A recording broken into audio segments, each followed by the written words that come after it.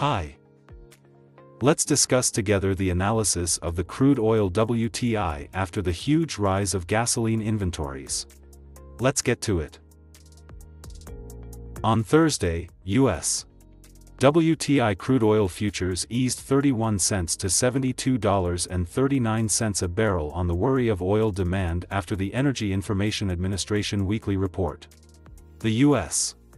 Energy Department reported an increase of 10.9 million barrels of gasoline inventories, versus a reduction of 215,000 barrels expected.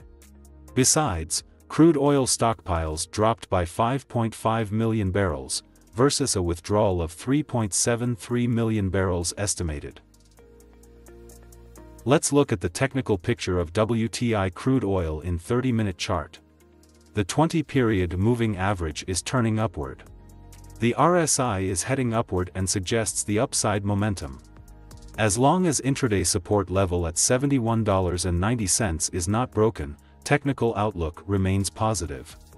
The upside targets are $73.70 and $74.40. Don't forget to visit our website at tradingcentral.com and all of our social media channels.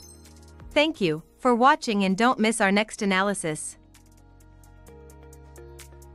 Trading Central Disclaimer